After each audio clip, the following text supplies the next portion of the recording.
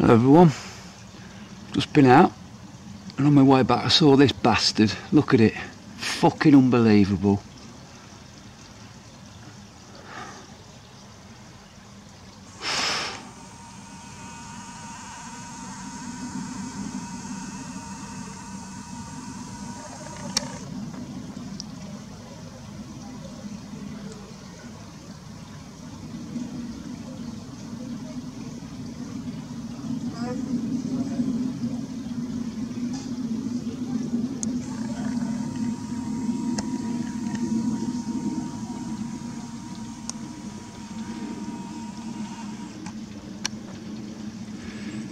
Course, I get some arseholes.